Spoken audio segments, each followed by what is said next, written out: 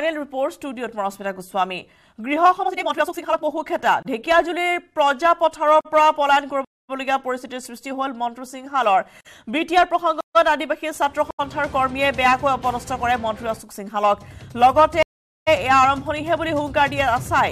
মন্ত্ৰী অশোক সিংহালে বৃহস্পতিবাৰে ঢেকীয়াজুলিৰ প্ৰজাপথাৰ গাঁৱত উপস্থিত হৈছিল। ধূলাকাণ্ডত মৃত্যু হোৱা দুৰ্ভগীয়া আৰতী তুৰীৰ আৰু প্ৰতিটোৰিক চৰকাৰে প্ৰদান কৰা ঘৰ উদ্বোধনী অনুষ্ঠানৰ বাবে হৈছিল অশোক সিংহাল তাত উপস্থিত। গৃহ উদ্বোধন হোৱাৰ পিছতেই লাগিল খেলি মেলি ছাত্ৰ সন্থাৰ একাংশ কৰ্মীয়ে আগ ভেটি ধৰি বি টি আৰ প্ৰসংগত বিভিন্ন প্ৰশ্নৰে ব্যতিব্যস্ত কৰে। নহয় মন্ত্ৰীগৰাকীক বিভিন্ন প্ৰকাৰে অপদস্থ কৰে আছাৰ সদস্যসকলে।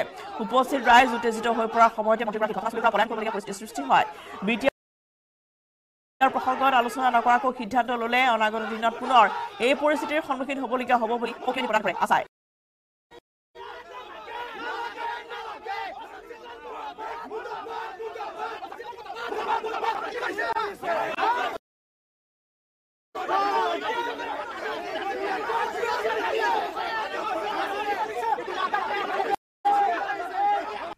ফাৰ্ষ্ট কথা হ'ল অসমখনক আমি কেতিয়াও ভাগ ভাগ হোৱাটো আদিবাসী ছাত্ৰ সন্থাই কেতিয়াও নিবিচাৰে। আৰু অনাগত দিনত আজি জাতি জনগোষ্ঠী ভাগ ভাগ কৰি বিজেপি চৰকাৰ যি ৰাজনীতি কৰি আছে এই ৰাজনীতি অতি শীঘ্ৰে বন্ধ কৰিব লাগে।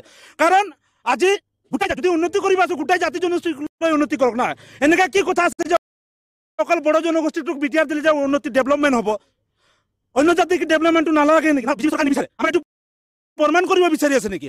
আজি বিজেপি চৰকাৰে ক'ব বিচাৰিছে যে শান্তি চুক্তিত আজি সিহঁতে অস্ত্ৰধাৰী পৰা ইহঁতে আজি অব্যাহত লৈ ইহঁতে আজি শান্তিত ঘূৰি আহিছে বুলি কৈছে। তো তাৰ মানে কি অসমত অন্য জনগোষ্ঠীবিলাক অশান্তি কৰাটো ইহঁতে বিচাৰে নেকি? ওদালগুৰি এনকাউণ্টাৰ ঘটনা তদন্ত আৰক্ষীৰ ওদালগুৰি দৈফাং বজাৰৰ মাথি দৈমাৰীৰ বাসগৃহত সংঘটিত হোৱা এনকাউণ্টাৰ ঘটনাৰ তদন্তৰ বাবে আজি ঘটনাস্থলীত উপস্থিত হ'ল চি আই ডিৰ দল। অমৃত ভূঞা নেতৃত্বত অহা তিনিজনীয়া দলটোৱে গোপনে ৰৌতা থানাত উপস্থিত হোৱাৰ পিছতেই দৈফাঙৰ ঘটনাস্থলী অৰ্থাৎ মাথি দৈমাৰী বাসগৃহত উপস্থিত হৈ বহু সময় ধৰি সোধপোছ কৰে মাথিৰ লগতে কাষৰীয়া ৰাইজক। ইয়াৰ পিছতে দলটো ওৰাঙৰ পাণবাৰীৰ পাঁচনৈ দাঁতিলৈ ৰাওনা হয়। পাঁচনৈতে আৰক্ষী নিহত লোকজনক কেনাৰাম বসুমতাৰী বুলি চিনাক্ত কৰি পৰিয়ালক চমজাই দিছিল আৰক্ষীয়ে। কিন্তু এই ঘটনাত নিহত হৈছিল কেনাৰামৰ সহযোগী ডিম্বেশ্বৰ মুছাহাৰীহে। মৃতদেহ বিভ্ৰাটৰ বাবে পিছত মৃতদেহ খনন কৰি গুৱাহাটীলৈ নিয়া হয়। সমগ্ৰ ঘটনাৰ সন্দৰ্ভত মুখ্যমন্ত্ৰীয়ে চি আই ডিৰ তদন্তৰ নিৰ্দেশ দিয়াৰ পিছতেই আজি অমৃত ভূঞাৰ নেতৃত্বত অহা চি আই ডিৰ দলে তদন্ত আৰম্ভ কৰিছে প্ৰায় দুসপ্তাহ সময় এই তদন্তৰ প্ৰতিবেদন দাখিল কৰিব বুলি উল্লেখ কৰিছে। গোটেই আমি ডিটেইলছখিনি আমি লৈছোঁ। তাৰপিছত আমি এইখিনি এনালাইচিছ কৰিব লাগিব ষ্টেটমেণ্ট ল'ব আছে। তো এতিয়া আমি একো মই একো মন্তব্য নিদিওঁ। আমাৰ তিনিজন মানুহ আহিছে আৰু এজন এক্সট্ৰা ফটোগ্ৰাফাৰ আহিছে। আমি কৈছোঁ যে আমাৰ এনেকুৱা পাব্লিক ঘৰত এনেকুৱা কিয় হ'ব লাগে এইটো মই কৈছোঁ। হ'ব কিয় লাগে মই কৈছোঁ। বহুত দুখ পাইছোঁ দেই। চৰকাৰী মানুহ এনেকুৱা মানুহ ৰাস্তাত মাৰিব লাগে। আমাৰ পাব্লিক ঘৰত ইমান হাৰাচমেণ্ট দিব নালাগেতো। দবকা ৰাষ্ট্ৰীয় ঘাইপথৰ কাষত থকা দোকান ভাঙিবলৈ নিৰ্দেশ কৰিলে। কৰ্তৃপক্ষৰ। এসপ্তাহৰ ভিতৰত দোকান আঁতৰাবলৈ মাইকযোগে নিৰ্দেশ ৰাষ্ট্ৰীয় ঘাইপথ কৰ্তৃপক্ষৰ। এই জাননীয়ে শ শ ব্যৱসায়ীৰ মাজত এক প্ৰকাৰ হাহাকাৰ পৰিস্থিতিৰ সৃষ্টি কৰিছে। একাষলৈকে ৰাষ্ট্ৰীয় ঘাইপথৰ ভূমিত ব্যৱসায় কৰি পোহপাল দিছে। পৰিয়াল। আনহাতে একাংশ ব্যৱসায়ীৰ ভুলৰ বাবেও সঘনাই দুৰ্ঘটনা পতিত হয় সাধাৰণ লোক। দোকান আঁতৰাব লাগিব দবকা ঘাইপথৰ কাষৰ পৰা মাইকযোগে ঘোষণা কৰিছে ৰাষ্ট্ৰীয় ঘাইপথ কৰ্তৃপক্ষই। এসপ্তাহৰ ভিতৰত দোকান আঁতৰোৱাৰ নিৰ্দেশ দিয়া হৈছে আৰু এই ঘোষণাৰ পিছতে ব্যৱসায়ীসকলৰ মাজত লাগিছে হাহাকাৰ আঁতৰাব লাগিব। দবকা ঘাইপথৰ কাষৰ দোকান। হাইৱেৰ কাম কৰিলোঁ ৰাস্তাটো ডাঙৰ হাইৱে কাম হ'ব। কিমানখিনি পৰা হ'ব? আপোনাৰ দহ দিন টাইম আছে দহ দিনৰ ভিতৰত আপোনাৰ হৈ যাব। দহ দিনৰ ভিতৰত কামটো হ'ব। ক'ৰ পৰা ক'ৰ হ'ব কামটো? আপোনাৰ হোজাইৰ পৰা এইখিনি হ'ব। নিৰ্বাচনী ফলাফল প্ৰকাশৰ দিনাই মেঘালয়ত হিংসাত্মক ঘটনা। এটা স্থানীয় সংবাদ প্ৰতিষ্ঠানৰ বিৰুদ্ধে ক্ষোভ দলীয় সমৰ্থকৰ। ফলাফলৰ বাতৰি ভুলকৈ প্ৰচাৰ কৰাৰ অভিযোগ কাৰ্যালয়টোলৈ নিক্ষেপ কৰিলে শিলগুটি ৰাজ্যখনৰ শ্বেৰা সমষ্টিৰ ঘটনা উত্তেজিত নিয়ন্ত্ৰণৰ বাবে গেছ নিক্ষেপ কৰিছে আৰক্ষীয়ে।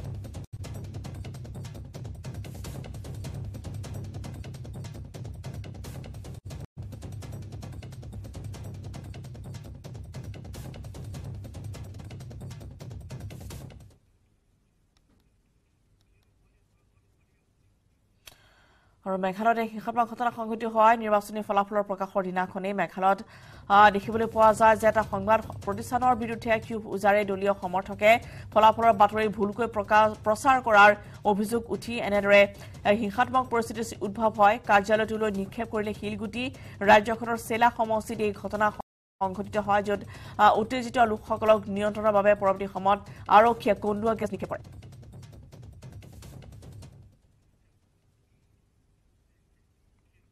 প্ৰকাশ পালে তিনি ৰাজ্যৰ নিৰ্বাচনী ফলাফল। ত্ৰিপুৰাত পুনৰ চৰকাৰ গঠন কৰিব বিজেপিয়ে। ত্ৰিপুৰাত একক সংখ্যাগৰিষ্ঠ দল বিজেপি ৰাজ্যখনত বিজেপি মিত্ৰজোঁটে লাভ কৰিছে তেত্ৰিশখন আসন। চৈধ্যখন আসনতে সীমাবদ্ধ থাকিল চি পি আই এম। প্ৰথমবাৰ নিৰ্বাচনত আত্মপ্ৰকাশ কৰিয়েই টি এম পিয়ে লাভ কৰিলে তেৰখনকৈ আসন। ষাঠিখন আসন বিশিষ্ট ত্ৰিপুৰা বিধানসভা। মেঘালয়ত পুনৰ চৰকাৰ গঠনৰ কুচকাৱাজ এন পি পিৰ ৰাজ্যখনত এন পি পিয়ে লাভ কৰিছে সাতাইছখনকৈ আসন। বিজেপিয়ে লাভ কৰিছে দুখন আসন কংগ্ৰেছ জয়ী হৈছে পাঁচখনকৈ আসনত। এ আই টি চিয়ে লাভ কৰিছে পাঁচখন আসন। মেঘালয়ত অন্যান্যই লাভ কৰিছে বিছখন আসন। ঊনষাঠিখন আসনৰ বাবে অনুষ্ঠিত হৈছিল এই ভোটগ্ৰহণ। ষাঠিখন আসন বিশিষ্ট মেঘালয় বিধানসভাৰ এটা সমষ্টিত এজন প্ৰতিদ্বন্দ্বী প্ৰাৰ্থীৰ মৃত্যুৰ বাবেই স্থগিত ৰখা হৈছে ভোটগ্ৰহণ। ইফালে নাগালেণ্ডত পুনৰ এন ডি পি পি মিত্ৰজোঁটৰ চৰকাৰ আঠত্ৰিশখনকৈ আসন লাভ কৰিছে এন ডি পি পি মিত্ৰজোঁটে। এন পি এফে লাভ কৰিছে দুখন আসন এন পি পি জয়ী হৈছে চাৰিখনকৈ আসনত। অন্যান্যই লাভ কৰিছে ষোল্লখন আসন এখনো আসন লাভ নকৰিলে কংগ্ৰেছে। ষাঠিখন আসন বিশিষ্ট নাগালেণ্ড বিধানসভা।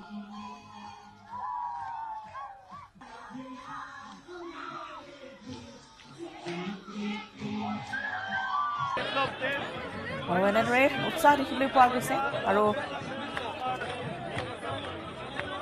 পুনৰ বিজেপি চৰকাৰ ত্ৰিপুৰা তাৰপিছতে এনেদৰে সকলোৰে মাজত মিঠাই বিতৰণ কৰিছে দলীয় সমৰ্থকসকলৰ মাজত আৰু দেখিবলৈ পোৱা গৈছে যে মেঘালয় পুনৰ এন পি পিয়ে চৰকাৰ গঠনৰ দিশে আগবাঢ়িছে আৰু তাৰপিছতে এনেদৰে চাৰিওফালে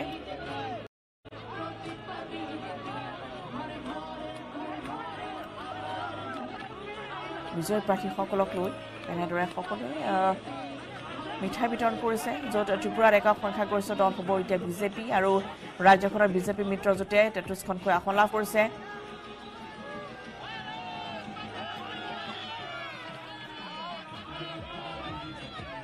চতুৰ্থখন আসনতে সীমাবদ্ধ থাকিল চি পি আই এম প্ৰথমবাৰৰ বাবে নিৰ্বাচনত আত্মপ্ৰকাশ কৰিয়ে কিন্তু টি এম পিয়ে লাভ কৰিছে তেৰখনকৈ আসন।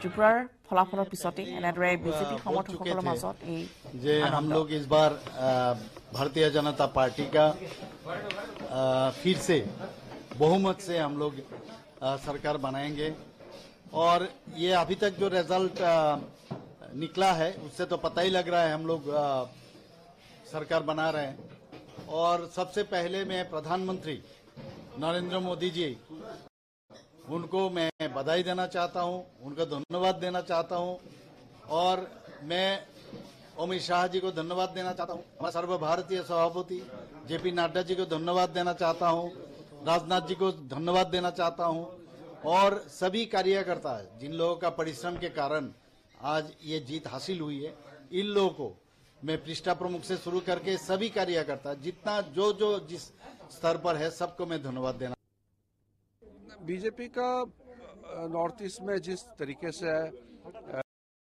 जीत प्राप्त कर रहे हैं जनता का समर्थन प्राप्त कर रहे हैं उसका सिंपल रीजन है मोदी जी ने जितना काम किया लोगों तक तो पहुँच रहे हैं। ये फॉर्मूला यही है। किस तरीके की नागालैंड की और मेघालय की जीत को क्या देखते हैं? कितना हिसाब से बहुत अच्छा। देखा चुनाव जीत रहा है तो उसका मतलब साफ़ है कि लोगों का विश्वास प्राप्त कर रहे हैं हम। कामयाब हो रहे हैं। उसके अंदर भी हम बीजेपी की तरफ़ से जा रहा है जितने नॉर्थ ईस्ट में अभी अ, हर राज्य में बीजेपी का ही प्रभाव अभी चलेगा। मेघालय लोगों को मैं धन्यवाद देना चाहता हूँ कि आज उन्होंने एनपीपी को एक रिकॉर्ड एक तरीके से रिकॉर्ड नंबर फिक्स किए हैं। इसके लिए मैं पब्लिक को धन्यवाद कहना चाहता हूँ। ये पब्लिक का पब्लिक की आवाज़ है। और दिलाना चाहता हूँ कि हम लोग जिस तरह पिछले पाँच सालों में काम किया था अगर हम लोग सरकार अभी जो शायद बड़ी बनेगी तो हम आगे भी हम लोग स्टेट को आगे ले जाएँगे।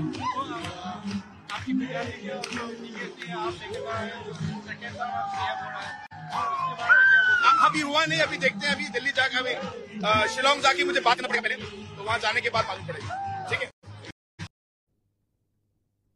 खुश तो हूँ लेकिन आशा करता था कि और मिले सीट्स लेकिन मैं तभी भी त्रिपुरा के जो जनता है जिसने हमारे लिए वोट किया है मैं सबको धन्यवाद बोलना चाहता हूँ। I have fallen short and I admit that but I also emerge as a second largest party in Tripura so I don't think any party which was not even present less than two years has now uh, come up and become the second largest party in tripura ahead of Communist Party and ahead of Congress Party. So obviously we have connected with the people, and uh, yes, this was my last fight, and even if I'm not around, the movement will carry on in the hearts of the people and in the minds of the people, and I, I will always be there to support this movement. विपक्ष के बीच में बैठ के आप लोग Tripura land की demand जारी रखेंगे हम अपना मुद्दा असेंबली में उठाएंगे ইফালে নিৰ্বাচনী ফলাফলৰ পিছতে দিল্লীস্থ বিজেপিৰ মুখ্য কাৰ্যালয়ত উপস্থিত হ'ল প্ৰধানমন্ত্ৰী নৰেন্দ্ৰ মোদী ত্ৰিপুৰা মেঘালয় আৰু নাগালেণ্ডৰ জনতাক ধন্যবাদ জ্ঞাপন কৰে প্ৰধানমন্ত্ৰী মোদীয়ে ये नॉर्थ ईस्ट के लोगों के सम्मान में आपने जो ये मोबाइल फोन के माध्यम से प्रकाश फैलाया है ये प्रकाश उनके सम्मान में है उनके गौरव में है आपका मैं धन्यवाद करता हूं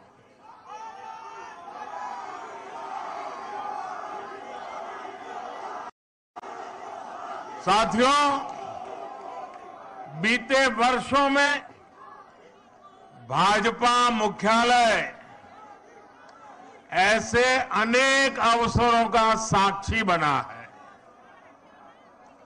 आज हमारे लिए जनता जनार्दन को विनम्रता से नमन करने का एक और अवसर आया है।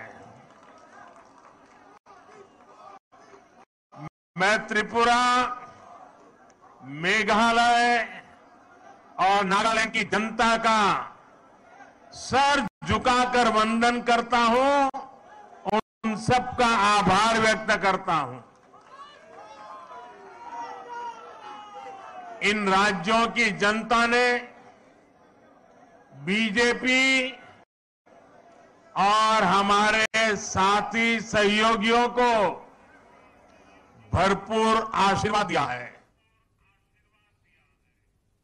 নিৰ্বাচনী ফলাফলৰ পাছতে তিনি ৰাজ্যত আৰম্ভ চৰকাৰ গঠনৰ কুচকাৱাজ ৰাজনৈতিক দলবোৰৰ মাজত আৰম্ভ হৈছে হিচাপ নিকাচ আলোচনা আৰম্ভ হৈছে শপত গ্ৰহণৰ দিন নিৰ্ধাৰণক লৈও পৰৱৰ্তী মুখ্যমন্ত্ৰীক লৈ চৰ্চা অব্যাহত থাকিলেও তিনি ৰাজ্যত সদ্যহতে মুখ্যমন্ত্ৰী সলনি হোৱাৰ সম্ভাৱনা নাই ৰাজনৈতিক অভিলেখ সৃষ্টিৰে পঞ্চমবাৰৰ বাবে নাগালেণ্ডৰ মুখ্যমন্ত্ৰী হোৱাৰ দিশে নেফিয়ৰিয় দ্বিতীয়বাৰৰ বাবে মেঘালয়ত মুখ্যমন্ত্ৰী হোৱাৰ পথত কনৰাড চাংমা দ্বিতীয়বাৰৰ বাবে ত্ৰিপুৰাৰ মুখ্যমন্ত্ৰী হ'বলৈ সাজু হৈছে ডাঃ মানিত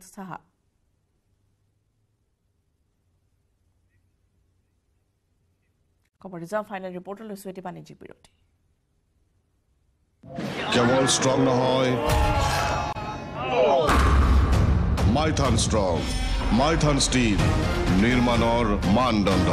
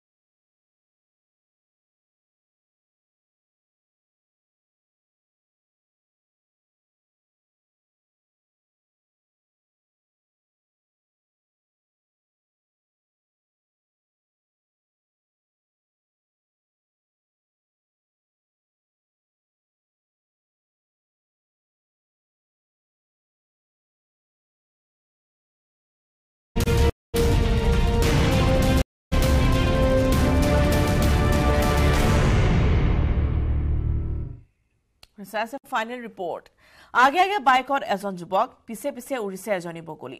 চিনেমাৰ দৰেই এক মনোৰম দৃশ্য এতিয়া দেখিবলৈ পোৱা গৈছে উত্তৰ প্ৰদেশৰ ৰাজপথত।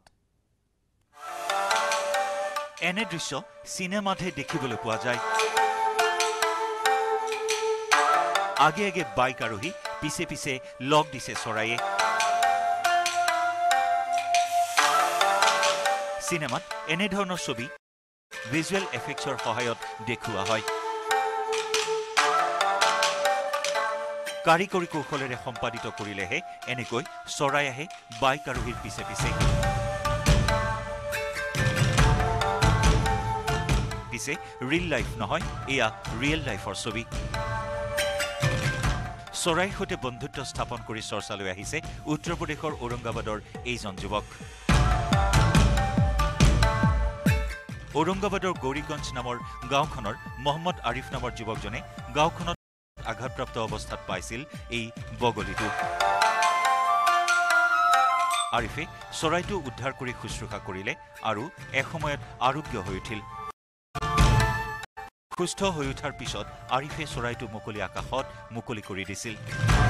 ভাবিছিল নিজৰ উভতি যাব। কিন্তু ভবাৰ দৰে নঘটিল ঘটনাটো। আৰিফৰ লগতে থাকি বগলীটোৱে এতিয়া আৰিফকে সৰ্বোচ্চ গণ্য কৰা হ'ল। আৰিফ জেনি বগলীও টেনি আৰিফৰ মতে বাইকৰ পিছে পিছে ত্ৰিছ চল্লিছ কিলোমিটাৰ বাট উৰি ফুৰে বগলীটোৱে।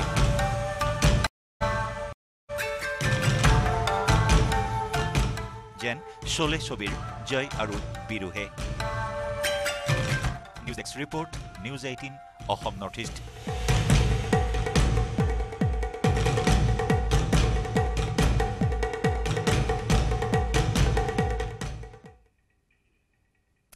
শোণিতপুৰৰ বৰচলা তিনি নং চিতলমাৰীত পুনৰ প্ৰশাসনৰ উচ্ছেদ ঢেকিয়াজুলিৰ ৰাজহ চক্ৰ বিষয়া তন্ময় বৰা ঢেকিয়াজুলি আৰক্ষী থানাৰ ভাৰপ্ৰাপ্ত বিষয়া ৰাজা চৰকাৰৰ নেতৃত্বত বৃহৎ আৰক্ষী বাহিনী অৰ্ধসামৰিক বাহিনীয়ে তিনি নং চিতলমাৰীত উপস্থিত হৈ ঘৰ দুৱাৰ খালী কৰিবলৈ মাইকযোগে আহ্বান জনায়।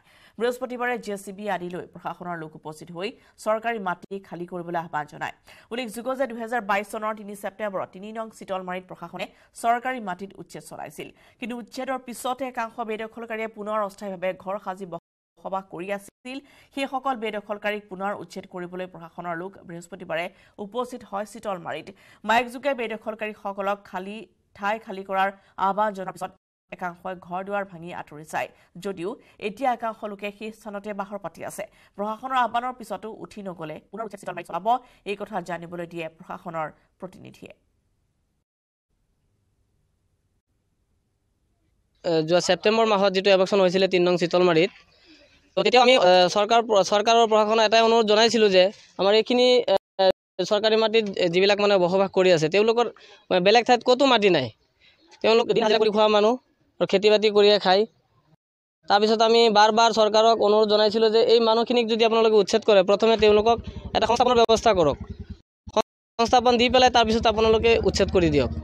কিন্তু তেওঁলোকে একো সংস্থাপন নকৰাকৈ এবাৰ উচ্ছেদ কৰিলে এই মানুহবোৰ মাটি চাটি একো নাই ক'ত যাব?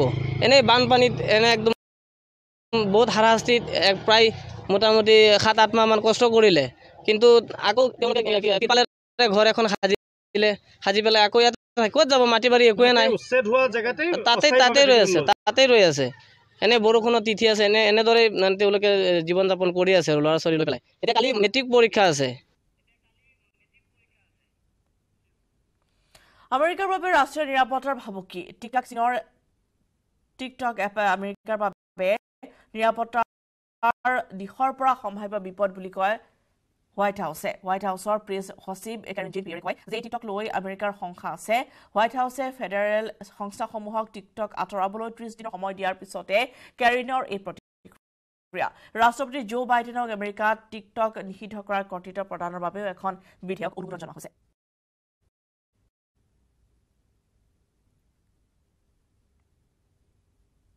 We have concerns. We have concerns about the app, uh, and that's why we have called on uh, Congress to act, and uh, including, and I mentioned earlier, just moments ago, including what China, how China is trying to collect the privacy of, of Americans in a way that it would have, uh, it would can present uh, national security risk. So yes, we have concerns uh, about that, and and look, we're going to continue uh, to again to call on Congress. I just laid out the president's unity agenda and what he's looking to do and the actions that he wants to take from the executive uh, branch his authority. And so we're going to continue to call that out. That TikTok, uh, you know, poses a problem and an issue. And so we have concerns about that as it relates to Americans' data, collecting Americans' data, and the potential national uh, security risk. And we've been very, very clear on that. Again, CFIUS has an ongoing uh, process that they're, go- they're working through, so I'm going to let that, that, that uh, speak for itself, what they come up with. আৰু ইয়াৰ সময় হৈছে final ৰিপৰ্টৰ পৰা বিদায় লোৱাৰ শুভৰাত্ৰি